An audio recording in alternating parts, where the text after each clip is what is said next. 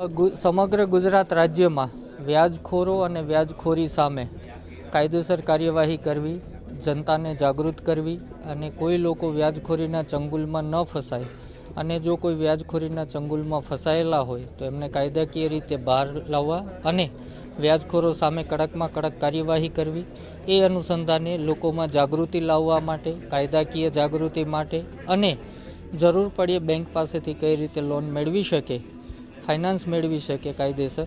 એના માટે આજે એક વલસાડમાં લોક દરબારનું આયોજન કરવામાં આવેલું હતું. વલસાડ જિલ્લામાં છેલ્લા બે દિવસમાં તેર જેટલા ગુનાઓ દાખલ કરવામાં આવ્યા છે અને આપના માધ્યમથી જનતાને જણાવીએ છીએ કે આગળ આવી અને ફરિયાદ કરે.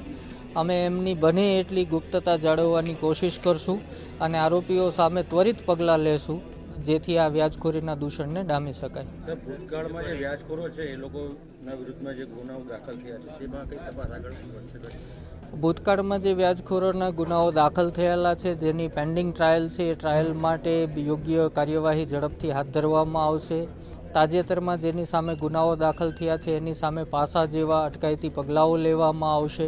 અને જેટલી પણ અરજીઓ છે એ તમામ અરજીઓ પરથી ગુના દાખલ થાય એના માટે કાર્યવાહી કરવામાં આવશે અને આ ઉપરાંત વલસાડ જિલ્લા કંટ્રોલ રૂમ અને મારો મોબાઈલ નંબર પણ લોકોને આજે આપવામાં આવ્યો છે, જેથી લોકો નિર્ભીકપણે સીધી ફરિયાદ